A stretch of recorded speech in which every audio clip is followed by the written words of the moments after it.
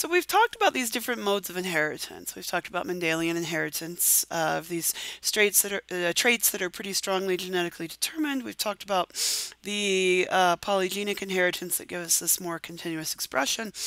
Um, when we're trying to determine whether traits are more strongly affected by genotype or the environment, um, you know, it, it, it brings up interesting kind of interplay of the genotype and the environment. So one's genotype sets kind of the limits or potentials for development or expression of a trait. Uh, genotypes, though, also interact with environment, sometimes in quite um, predictable ways, sometimes in ways that are much less predictable. Um, so we're going to talk about stature as an example of this. Stature, of course, is your skeletal height we all recognize that there is a strong effect of genotype on stature. That is, if you've got parents and grandparents and siblings and aunts and uncles who are really, really tall, you run a much greater uh, likelihood of also being really, really tall. Similarly, if most of the people in your family are of uh, short stature, then you yourself have a higher likelihood of being of short stature. Um, but there's also a, a, role of the environment in stature. So it's like genetics sets or your genotype sets the stage for what might be your maximum height potential, but environmental factors like uh, childhood nutrition, your health during development, and your work effort influence whether that height potential is achieved or not. And so there was a really interesting um, you know, kind of case study of, of uh, identical twins reared apart. And one of the images that's widely used that I forgot to include on this slide um, is uh, two Chinese boys that had, been put up for adoption. One had been adopted by a wealthy family, one had been adopted by a poor rural working class family. Um, and by the time they finished puberty, they had a height difference of four to five inches. You know, that's a pretty sizable difference given that they had exactly identical genotypes.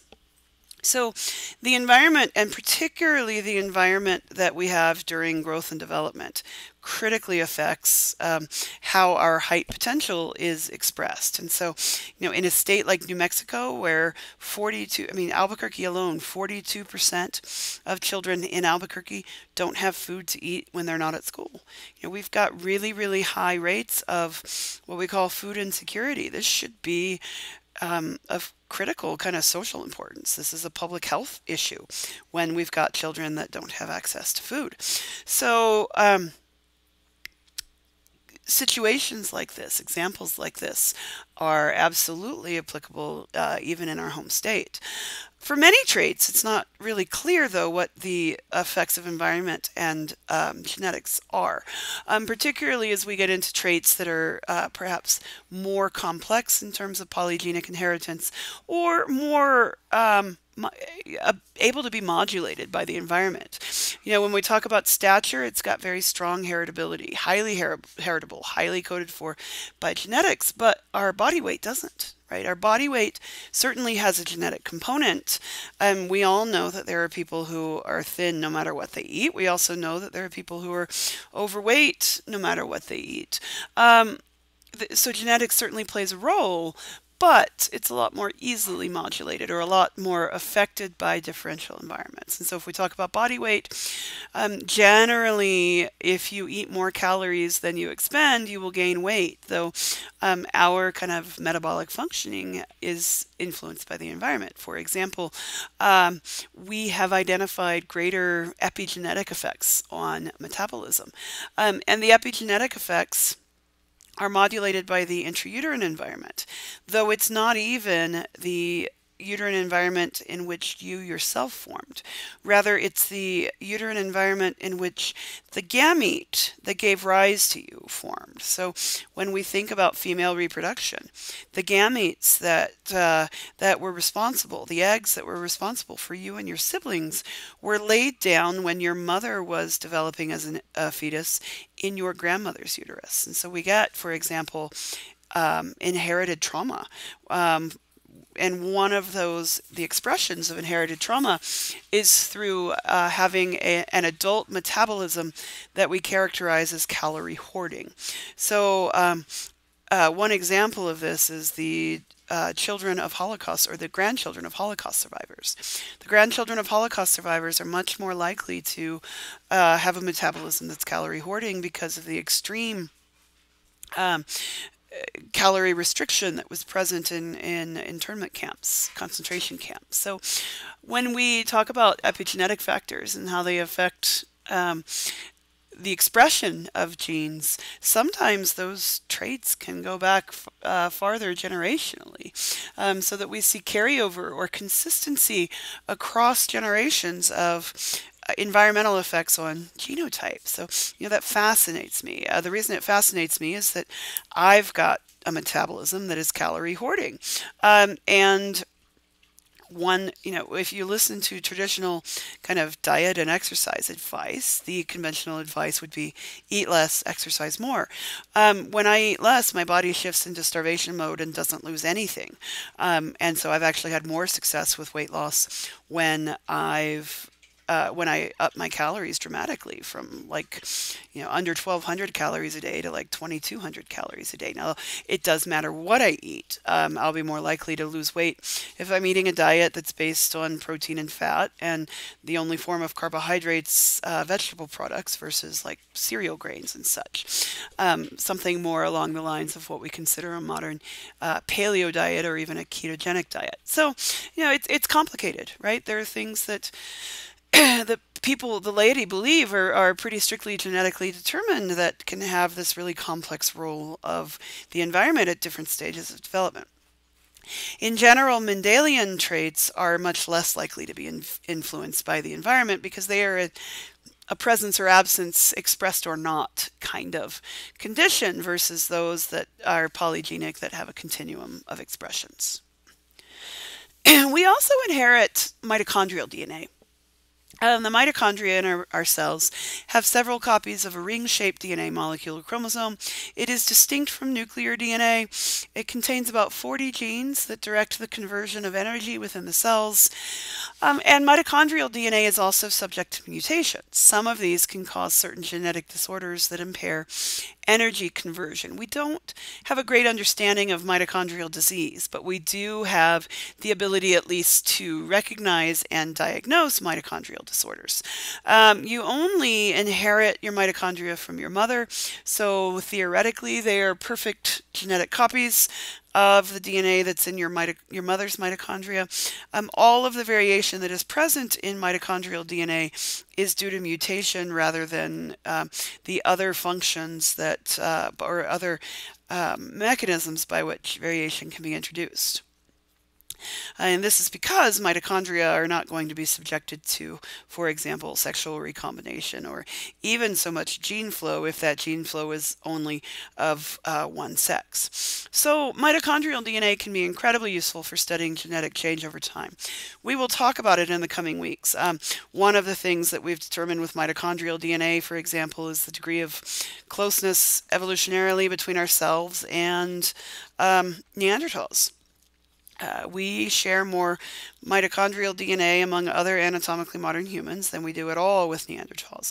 Also, we can kind of look at the depth of time that we've lived on different continents. There are seven modern human mitochondrial lineages, but only four of those occur outside of Africa. All seven occur within Africa. So that helps us kind of narrow down the time frame um, at which point we left Africa um, as anatomically modern humans and traveled to the rest of the world. So we will revisit this idea of mitochondrial DNA. all of this brings us to what we call the modern synthesis or modern evolutionary theory. Uh, we began with the recognition that mutation and natural selection weren't opposing forces, but rather both contributed to biological evolution. You know, we used to think that mutation was bad, natural selection was good, um, and now you know that mutation was kind of running opposite or counter to any kind of directional evolution based on natural selection. Now we recognize that they work in tandem, that evolution is a two stage process. The first involves the production and redistribution of variation. These are inherited differences among organisms. And so at this point, mutation is one of those mechanisms by which genetic variation originates. And then secondly, natural selection acts on that variation, leading to differential survival and or reproduction. So mutation is partly responsible for producing the variation that natural selection can act upon. Um, the fitting definition within the modern synthesis of evolution is change in allele frequencies from one generation to the next. Now remember, we are measuring the changing allele frequencies uh, at the population level. Evolution is not something that can happen within the individual per se, um, but rather is something that is a function of population levels. The allele frequencies are the percentage of all alleles at a locus that are accounted for, accounted for by one specific allele, and the gene pool represents all the genes that are shared by the reproductive members of a population. So the modern synthesis recognizes that we have to understand the mechanisms by which genetic variation arises. The first, of course, that we've talked about is mutation, which is defined as the imperfect copying of DNA strands. Species have underlying mutation rates. Um, and of course, different genes have different mutation rates. Those that are highly conserved are much less likely to see mutation. But in humans, our underlying mutation rate is roughly 10 to the minus 4 to 10 to the minus 6 per gene per generation. This comes out to, uh, with 30,000 genes, uh, comes out to roughly one mutation per every three offspring. But we've talked about the fact that this doesn't result in X-Men, right? It also doesn't result in certain death. We see um, most of us, out of having three offspring, we're not going to see some underlying genetic disease, or we're not going to see um, the evolution of mutant powers like flight or controlling the weather, right? And a lot of this is because of that redundancy in the genetic code. If you recall back to your work with the codon wheel, right? A lot of times we can change that third base in a codon and not change the uh, amino acid that that codon codes for. So we've got a lot of um, functional kind of neutrality of most of our genetic mutations. The second source of genetic variation is gene flow. This is the exchange of genes between populations. We often use the term migration as something that's synonymous or a proxy for gene flow, but we have to recognize that migration only refers to the movements of people, whereas gene flow implies interbreeding. Um, so migration in and of itself is not enough. You have to also interbreed once you've got new people introduced. Um, our human population movements have increased disproportionately in the last 500 years. We've gone from pretty slow, consistent rates of migration and interbreeding to the spread of European imperialism and colonialism, which led to um, much more genetic admixture the world over. And so in modern times, there are very few of what we refer to as breeding isolates. Um, we do have these relatively uncontacted tribes, like uh, the northern, uh, the ones on North Sentinel Island that killed that um, American missionary um, who decided to go ahead and try to uh, land on that island. Um, so there are a few rather isolated populations, but um, for most of our recent history, we've had a lot of genetic admixture. Um, and we can look at things like the admixture between African Americans and Europeans uh, as we compare places like Detroit versus Charleston that can help to demonstrate microevolutionary changes. So um, European genes represent about 20, 25% of the genome of African Americans in uh, Detroit, whereas they only represent about 10% to 15% of the genome of African Americans in Charleston. And that has to do with different attitudes toward um, interracial marriage and reproduction. So, um, you know, historical events can shape these microevolutionary changes or processes. A third factor that introduces variation is genetic drift. This is that element of randomness. It's a function of population size and occurs solely because the population is small. Um, so we can play a, a, mind game with color of marbles that is really good at demonstrating genetic drift. So I have a bag of marbles. Five of those marbles are red, five of those marbles are blue. I would ask one of you to pick five marbles at random. Then we're going to double that to give us our next quote unquote breeding population. So, you know, I'll, I'll pretend, obviously, because we can't have that interplay right now, but I'll pretend I'm one of you and I'm going to say three red, two blue. So when we double that, that gives us a population of six red marbles and four blue marbles. Again, I would ask somebody to pick five at random. This time you're going to pick four red, one blue.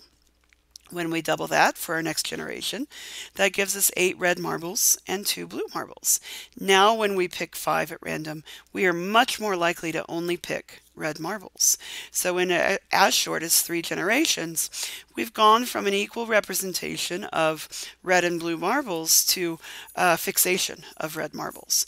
And you know, when we think about whether that's adaptive or not. Well, the color of your marbles doesn't really influence your success at playing the game per se, right? It's going to be the size of your marbles.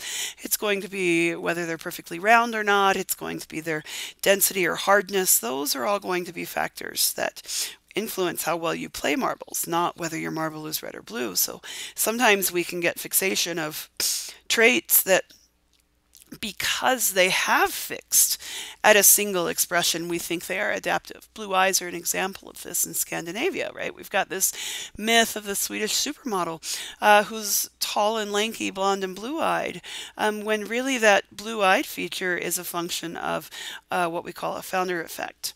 A founder effect is a particular kind of genetic drift. We see this in many human and non-human populations. It can occur when we've got a colonizing event, so a small band of founders leaves its parent group and forms a colony elsewhere. This is what is responsible for blue eyes in Scandinavia. It's because there were more blue eyed individuals who moved into Scandinavia, and by pure chance alone, that resulted in a population that was near fixation. Over time, uh, this establishes a new population. If you've only got mating within that population, then all of the group members will be descended from the original small group of founders. We see this among, um, for example, the Pennsylvania Amish, the Old Order Amish, that that source population was only about, oh, I'm trying to remember what the, the amount is. That source population was only about, um, it was like what 200 or so individuals um, that settled in eastern Pennsylvania. Uh, so because of that founder effect, this particular population of Old Order Amish are more at risk for a high number of genetic disorders um, because they were disproportionately represented um, as recessive traits that, that were present in the founders. It doesn't have to be because of colonization, though. Founder effects can also occur because of population bottlenecks, where a large proportion of the population is wiped out and then the population is reestablished from this smaller number who survived it. And so that is the likely explanation for the lack of variability that we see in modern day cheetahs, for example. Cheetahs are incredibly inbred. They are, have a critically low level of genetic variability. And so that creates a conservation crisis because um, for species to be healthy, they need a good deal of genetic variation, and that's not going to happen with cheetahs. Um, so it's one of the effects where kind of some of the genetic engineering or genomic uh, uh, advances that we've made since the 1980s might be helpful. If we can find um, stored bones of uh, cheetahs that predate that population bottleneck, we might be able to reintroduce some variability into the cheetah population. Um, we can also, I mean, we see the evidence of some population bottlenecks in our own histories as well. You know, particularly we can see the effects of um, of genocide, right? So, uh, one of the reasons why um, there are, uh, certain genetic disorders like uh, Tay-Sachs disease among um, Ashkenazi Jews is that a lot of their population variation was lost during the Holocaust. And they've also then had cultural practices that require marrying only within other Ashkenazi Jews. So um, there can be genocides or um, mass, you know, pandemics that cause are caused by disease outbreaks, etc., that can leave um, significantly lower levels of genetic variation afterwards. we also get a lot of genetic variation due to sexual recombination. Now, in one sense, we can get novel genetic material through what we call crossing over. As chromosomes line up during um, meiosis to form gametes, the homologous chromosomes can switch part of their um, part of their DNA or part of their structure, uh, resulting in an entirely new novel chromosome. Uh, and this is what's depicted in this picture right here. But we also, with sexual recombination get novel combinations of alleles. And so this is really important with respect to um, the evolution of immunity, for example, among um, you know, even human populations, that sexual recombination allows us to produce offspring that are genetically distinct from one another, particularly if we seek new and novel genetic input. So, um, one of the things that we find is that as we compare across uh, human populations around the globe, right, uh, we can see a different degree um, or kind of selection pressure favoring what we consider to be genetic novelty. And so, among uh, the one area where this is of particular importance is with host pathogen interactions. So when we think about the role that disease plays on um, pair bonding and um, what we call extra pair copulations, in areas where uh, there's a higher prevalence of pathogens, we also find a higher likelihood of extra pair copulation or extra pair uh, paternity. That is, that um, women make a conscious choice when they're in high pathogen areas to sire children by different fathers. Um, because what that does is introduces more genetic variability into their offspring such that maybe one of them or maybe all of them will be better able to uh, fight off the future mutations of uh, diseases. And so pathogen load is tightly tied to things like marital stability uh, or marital instability in that case. Um, it's also been proposed, there's a theory that was uh, proposed by Randy Thornhill and Corey Fincher, who were uh, Corey Fincher was Randy Thornhill's uh, grad student here in uh, or here in Albuquerque at UNM, and uh, it's called the parasite wedge theory. And they went so far as to tie pathogen load to things like political conservatism and liberalism. That uh, populations in high pathogen areas are much more likely to be more politically conservative because by being open to outsiders, you run the likelihood that, or you have the likelihood that you're going to bring diseases into your group that your group doesn't have the ability to fight. Um, now, I mean, that in my mind is more of a stretch that we can uh, correlate political conservativeness to um, historic patterns of pathogens, but you know there is pathogens play a huge role in our evolutionary history, and we do need genetic variation to be able to kind of fight future pathogen loads because pathogens can evolve so much faster than we can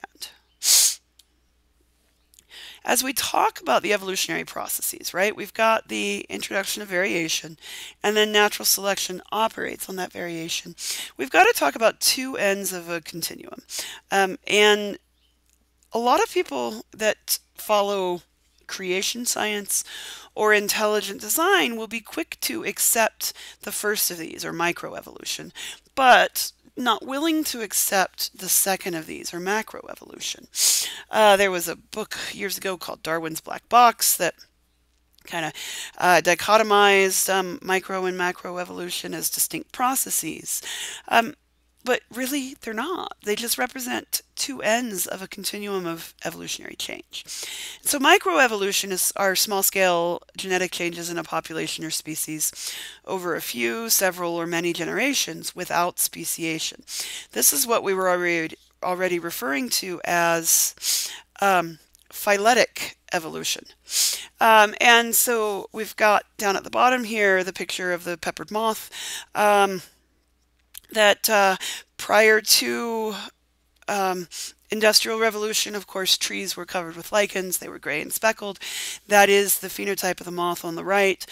So prior to the industrial revolution birds would predate upon melanistic moths. After industrialization when there were soot deposits on um, the trees, then birds couldn't see the melanistic moths and um, more preferentially predated upon the speckled moths. Um, thus, we have a pretty abrupt population shift in the allele frequencies. Um, most people don't have an ethical problem with microevolution, um, but it, it's the speciation events that tend to draw more ire. Um, so that's what we have depicted on the right is macroevolution, uh, where we've got larger uh, scale evolutionary changes, more significant genetic changes in a population or a species over a longer time period. This then results in speciation. Um, macroevolution happens for the very same reasons that microevolution happens, that we've got some environmental change that changes the kind of path of natural selection such that two populations evolve to be different. And that's what's pictured on the right.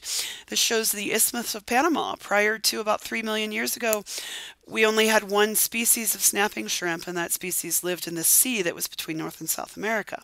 Three million years ago, the Isthmus of Panama arose, and it separated out the North or the uh, Atlantic snapping shrimp from the Pacific snapping shrimp. When you look at the pictures of the shrimp, you see that both sides of the isthmus have one front claw that is markedly bigger. This is their snapping claw. Uh, all of those on the Atlantic side, um, or most of those on the Atlantic side, there's that one at the end there that's a little bit different.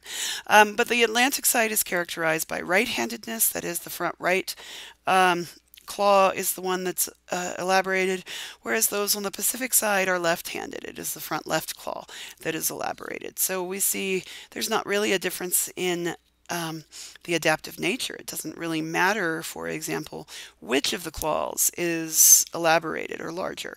It just matters that you have one that is. And so uh, that kind of function of random genetic drift that led to right-handedness because of a founder effect uh, on the Atlantic side and left-handedness on the Pacific side.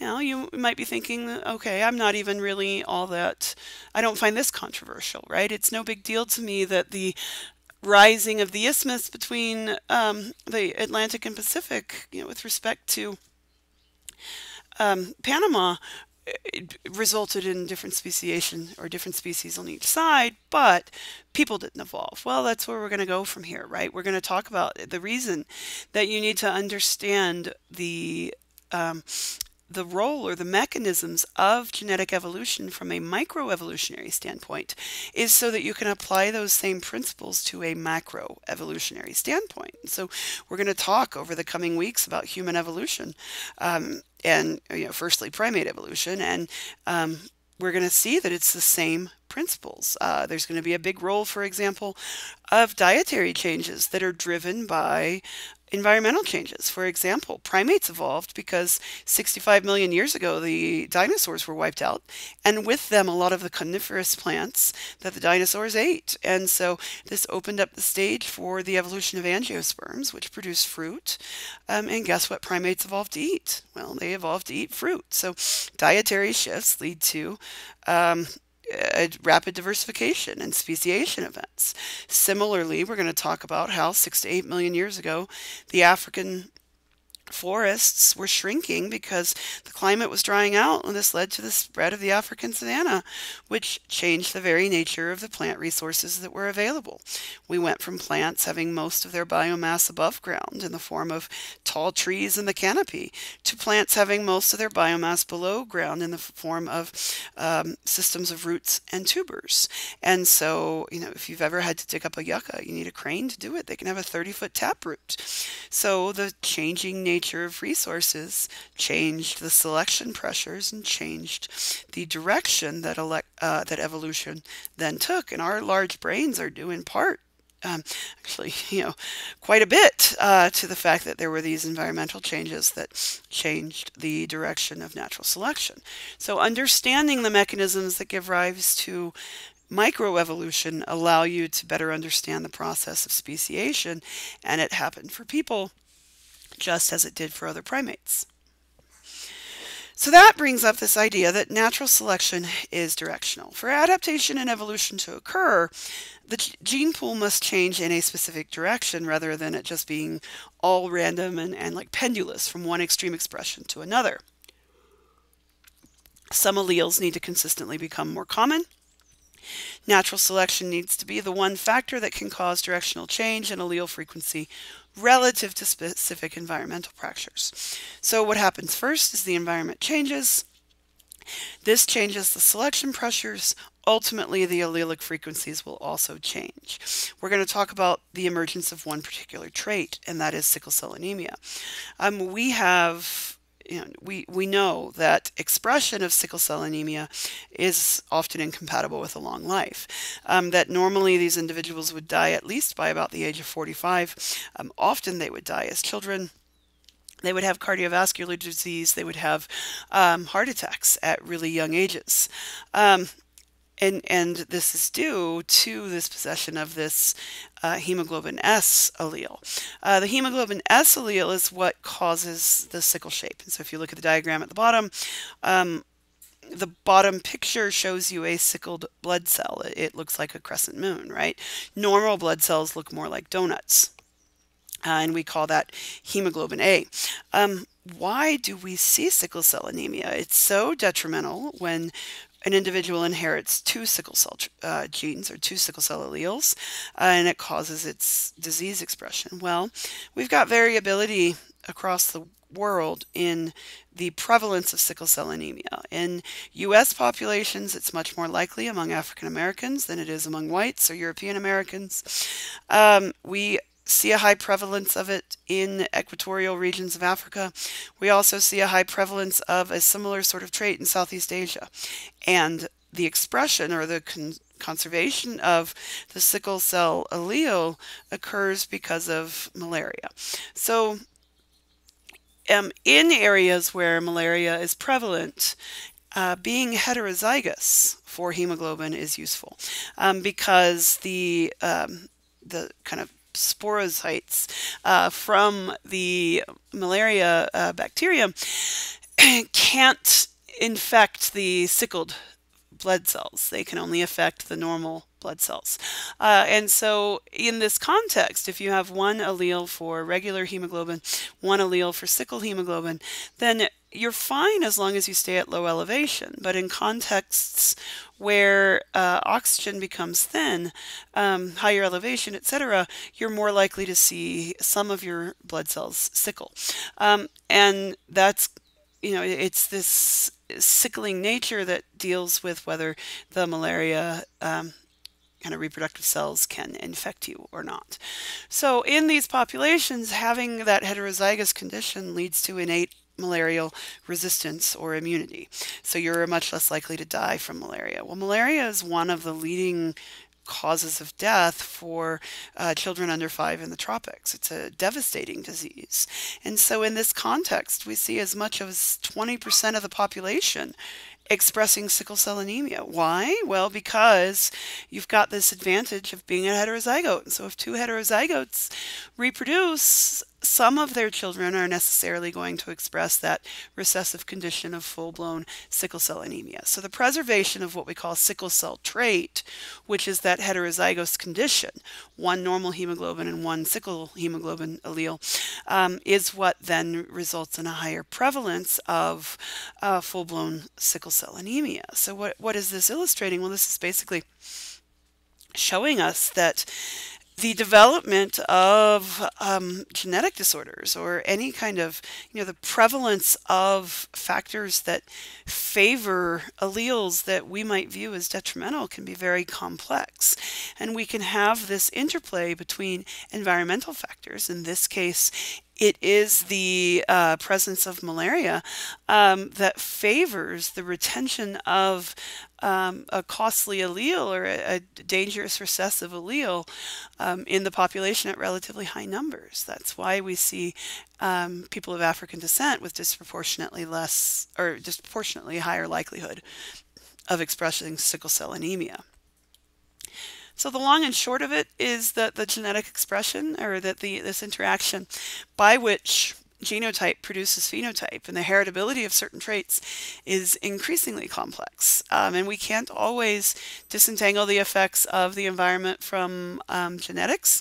Um, and that, you know, we've got both Mendelian inheritance principles and um, polygenic inheritance uh, and expression of genotypes in this ever increasing role that the environment plays. So it, it's really hard to determine what exactly is genetically based and what exactly is environmentally based.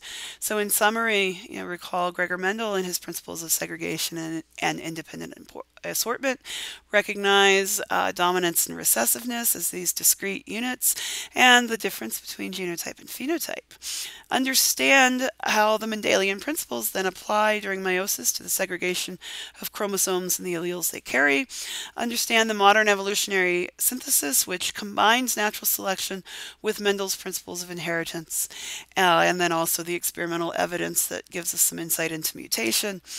Uh, recognize that evolution is now seen as a two-stage process, where the first stage is the production of and redistribution of variation, and that variation can come from mutation, gene flow, genetic drift, or recombination.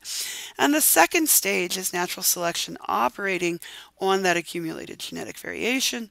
Um, so mutation is not always bad. It's just a, another uh, mechanism by which variation can be introduced into our genome.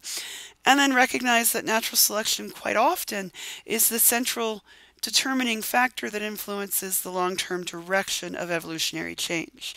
Um, you know, when we talk about directional selection, um, we have to also recognize that there's often two other kind of mechanisms. One is stabilizing selection, that which favors the mean expression um, and restricts the variation, and then also disruptive selection, where the two ends of the distribution are favored, the two extreme phenotypes are favored, but the median expression is not. And so, you know, what we talk about with uh, the preservation of the sickle cell allele for hemoglobin, um, we're talking about particularly uh, um, what's called a genetic polymorphism, um, and the directional favoring in populations then that have a high uh, kind of prevalence of malaria.